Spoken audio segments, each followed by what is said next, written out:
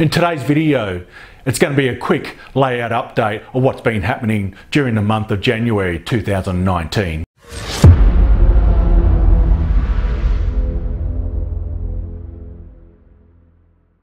So what's been happening in January 2019 on my escarpment layout? I've got all the point motors, all 33 in place. They're installed, they're under the benchwork, ready to go.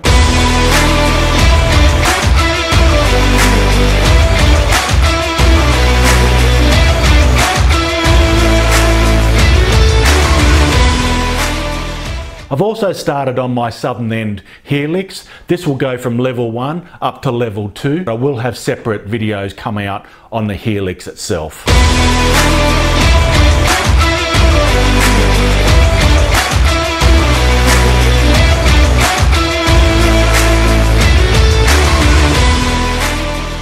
I've also started uh, experimenting with my control panels. One of them, it's quite compressed with a lot of stuff, a lot of switches, a lot of LEDs I'm going to have to fit into it. So now I'm sort of considering whether I actually blow that up from an A4 up to an A3. And so will that switch panel or that control panel be larger than the other one. So I'm dabbling with that and I think I will go that way. So what's this space? And obviously I will have some separate videos on that once I get some traction. I've actually hooked up my MRC Wi-Fi and I'm going to show you that, give you a quick demo of it as well and uh, run a train off my smartphone. Here we are at the southern end.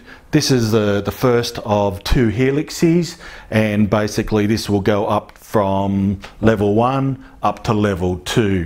500 millimeters between the levels give or take. Each tier will be 100 mil. I will be having a couple of extra additional supports uh, for each part from the center to the outer edge, about 920 millimeter. That's roughly 36, 37 inches. Uh, so that should give me a nice diameter for the trains to run up and keep uh, the incline uh, down to definitely below 1.8 degrees. Now I am tossing up at the moment. I've only roughed this in. This is not permanently in place. It's just screwed down into the baseboard.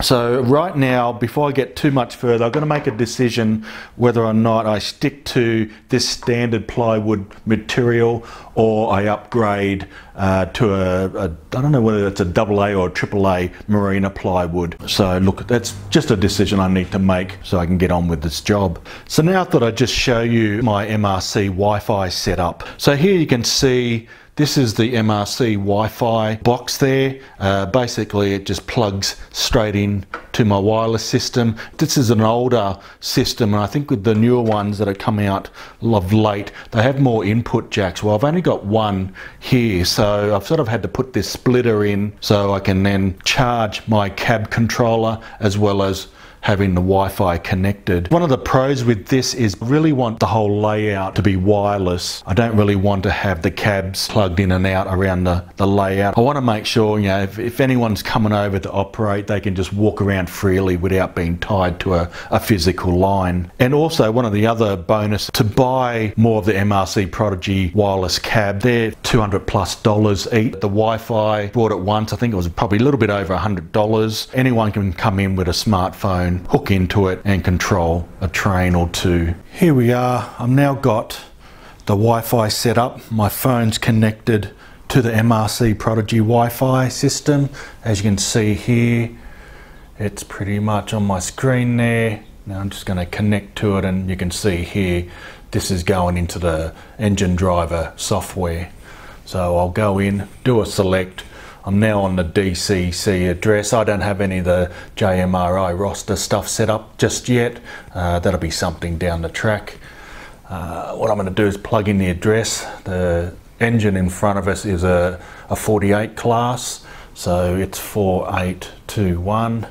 Do the acquire, and I'm pretty much ready to go now. So um, what we're going to do, I'll show you quickly. I guess we'll go to F8, get the sound on.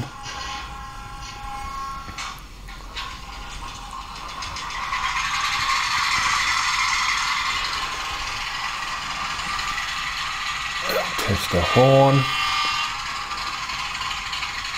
Get the light on. Now we'll move off forward. Yeah, you can see everything sort of happens instantly. There's no delay. It's quite a good little system.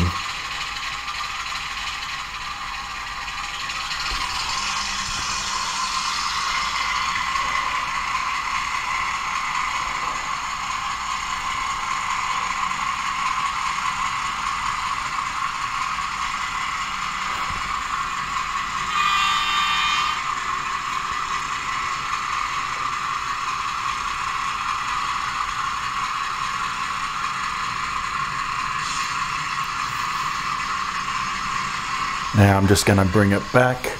I've put it into reverse and we'll get it going backwards now.